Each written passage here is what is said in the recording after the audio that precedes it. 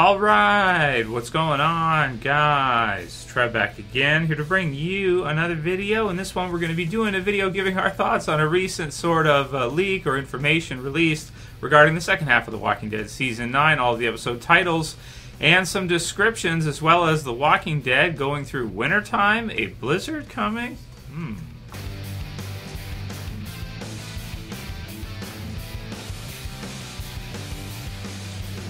And possible spoiler warning if you don't want to know any of this uh, information. If you do, the link will be in the description so you guys can check this one out from comicbook.com, as well as I think uh, spoiling uh, the Dead fans. Uh, yeah, the spoiling the Dead fans uh, group. Uh, have kind of found this somehow. I don't know how. Um, but it's it, okay. Here's what it says. It says the Walking Dead leaked episode synopsis is reveal a ferocious blizzard is coming. Winter is coming to The Walking Dead. Leaked episode titles and descriptions hint at the coming conflict with the Whisperers and a ferocious blizzard. Pitting the survivors uh, against on screen snow for the first time in The Walking Dead's nine year history. Uh, the title and episode descriptions were first compiled by a spoiler group, Spoiler Dead fans. So, so episode 11, uh, Bounty. Okay, that's what episode 11 is called. So we've got nine, of course, is tonight uh, and then uh, 10 next week, and then Bounty, episode 11.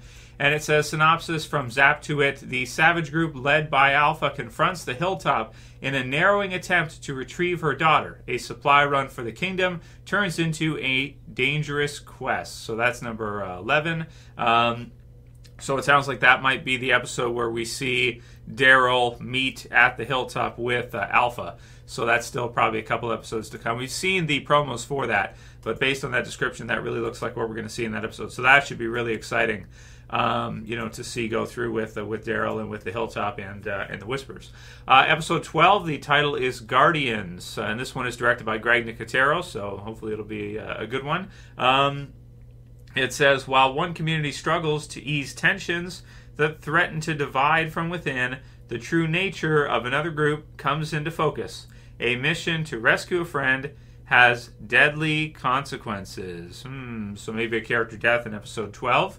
We'll have to have to see. That's what it sounds like. So community struggle to ease tensions uh, that threaten to divide from within. So so how they're maybe how they're going to deal with the Whisperers, how they're going to deal with this threat, what they're going to do, and um, you know someone who's been captured as we we well maybe not everybody's seen the uh, the premiere yet, but you guys if you guys have you know kind of uh, what uh, what that's looking like so far. Episode 13 title is Choke Point.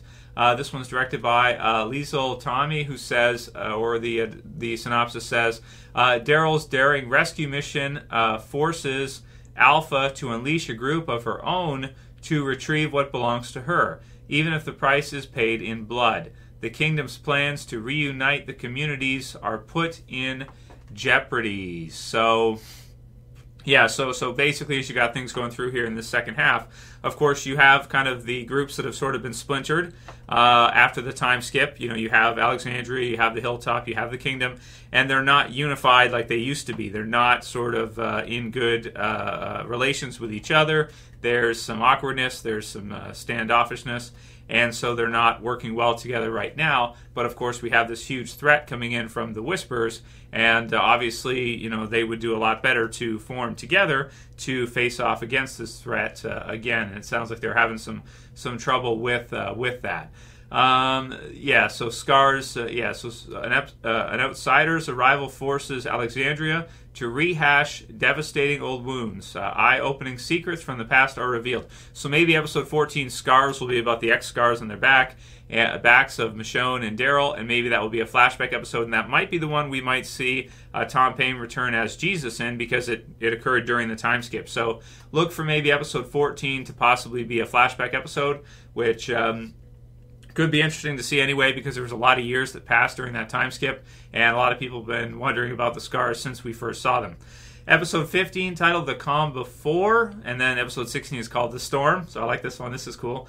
Uh, so, episode 15 synopsis from Sky Network uh, The fair at the Kingdom is underway with all four communities coming together in celebration for the first time in years.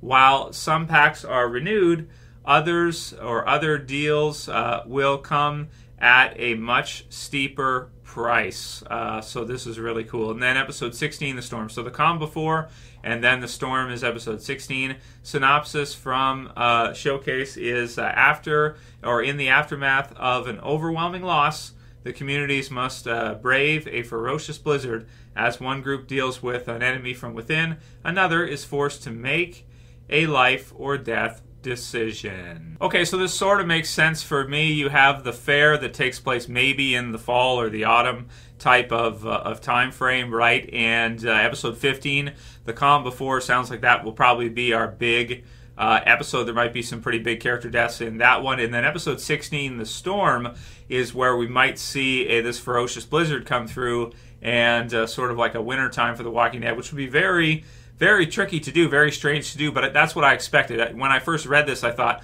well, if they're going to do a blizzard in The Walking Dead, uh, and they're going to do, uh, you know, some snow, which they've done in the comic book series uh, quite a few times. Here is one example. This is uh, earlier on the series, uh, miles behind this. This is volume two, but you can see it's got the blue, and this is Walking Dead, and you've got kind of the blizzard everywhere and so that's kind of cool. So this is this is really old school. This is like you know not not equivalent in terms of time frame to where we are right now in The Walking Dead, but just to show that the Walking Dead comic book series did have some uh, some some wintertime sequences and some some snow and, and that kind of stuff, and it's cool to kind of see with the. Uh, with the um, you know the walkers all around, and they did say kind of at one part that they had been going around in circles all winter.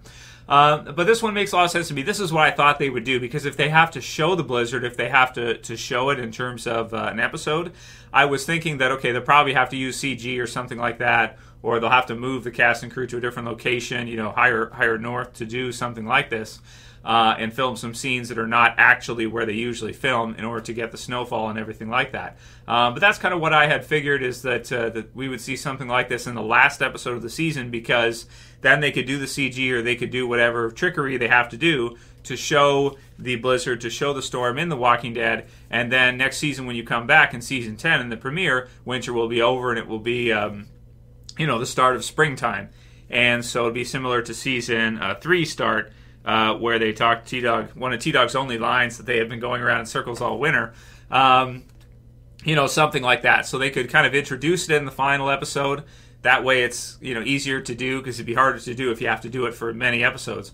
And then probably next year when they come back in season ten, um, you know it'll be gone. But that's something cool because they haven't done that before. Uh, tricky to pull off though. Tricky to pull off in uh, where they filmed there uh, you know, to do to do snowfall and to do that, I guess you kind of have to move the location or something, or uh, geez, I don't know, man, how they're going to pull that off CG or something. I mean, they can do some great stuff with CG nowadays, so maybe that's what they'll have to do. But uh, that sounds cool, and uh, it also means that episode 15 could be a huge episode and defining episode going forward for season 10 and the rest of the series. Episode 14, Scars could be cool to see the flashback sequences, and then all these other ones here going through as we see uh, tensions, uh, you know, uh, mount between the Whisperers and the uh, the survivors, and they aren't totally fully unified right now. Maybe what happens at the fair in episode 15 will uh, serve to unify them back again before this uh, this this storm hits. So that's pretty cool. Something different, something new for The Walking Dead. A blizzard, winter is coming, right? That's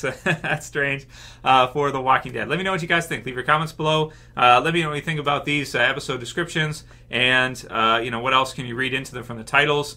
Uh, the Calm Before the Storm, Scars, Choke Point, Guardians, and Bounty. Let me know what you guys think. Leave your comments below. That's it for this one, guys. I'll see you again soon for another. As always, this is Trev, and I'm saying peace. Later, guys. I'll see you soon.